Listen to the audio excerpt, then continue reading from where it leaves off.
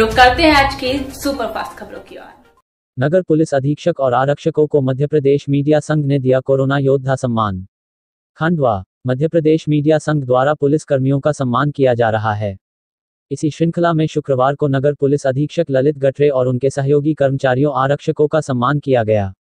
Madhya Pradesh media संघ के ग्रामीण जिला अध्यक्ष पंकज कुमार लाड ने बताया कि कोरोना योद्धा सम्मान आगे भी जारी रहेगा।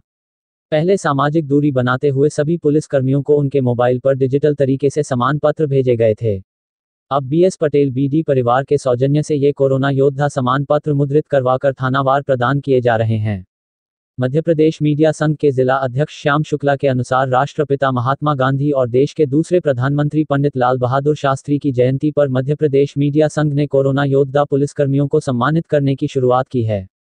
कोरोना वायरस कोविड 19 के संक्रमण काल में अपनी जान को जोखिम में डालकर आम लोगों को बचाने वाले शासकीय कर्मियों ने अपनी अंथक सेवाएँ प्रदान की है।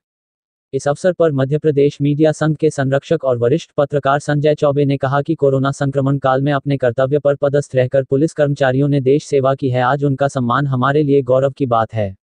सम्मान प्राप्त करने के बाद नगर पुलिस अधीक्षक ललित गठरे ने मध्य प्रदेश मीडिया संघ की सराहना की। श्री गठरे ने महामारी काल में सहयोग पर नगरवासियों को सहयोग के लिए धन्यवाद दिया।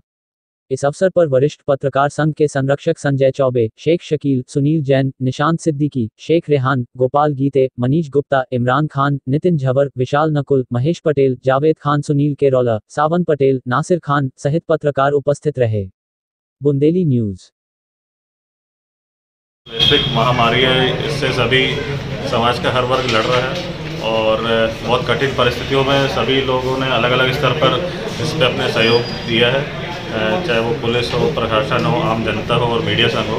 लगातार हमारा प्रयास जारी है कि हम इस महामारी से लड़ते रहें। और, मध्य प्रदेश मीडिया संघ खंडवा का मैं बहुत बहुत आभारी हूँ कि उन्होंने हमें यह सम्मान पत्र दिया और आगे भी हमारी, ये जो सेवा है इस कोविड नाइन्टीन के प्रति वो सुचारू रहेगी।